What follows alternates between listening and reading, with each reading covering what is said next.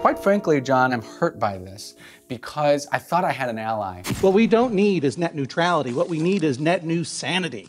And it turns out I got a literary humorist making fun of people like me. I can understand how someone who's looking for an ally and gets a literary humorist instead is going to be gravely disappointed. I would be too. Jokes hurt. But I have to be honest to myself. As a writer, as a creator, it's personally very important to me that everyone has the exact same level of access. There used to be a corporate monopoly of distribution in book publishers, movie companies, TV channels. That's eroded now, and I appreciate that's hard for those corporations and a big change, but it's a real benefit to the person who buys culture and the person who actually creates culture because now they can talk to one another directly.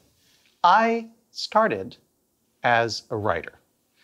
And in the 1990s, before most people had internet, there was one way for me to get my writing read, and that was by submitting it by mail to magazines and literary journals and book publishers.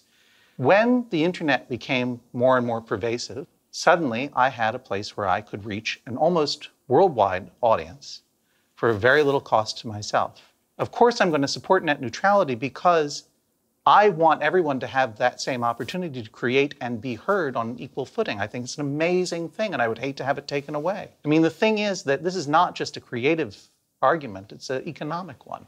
The bands and the writers and the singers and performers who are creating and selling and distributing content online, these are small business people. And we really have a whole class of creative entrepreneurship that, in my opinion, an anti net neutrality law would squash. Boy, you really drunk the Kool Aid, huh? There's no Kool Aid to be drunk. If you are pro capitalist, you have to be in favor of net neutrality. That sentence makes absolutely no sense to me. It makes all the sense in the world. That's the new net sanity. You're taking your own words and redefining them. I moved a couple of syllables around.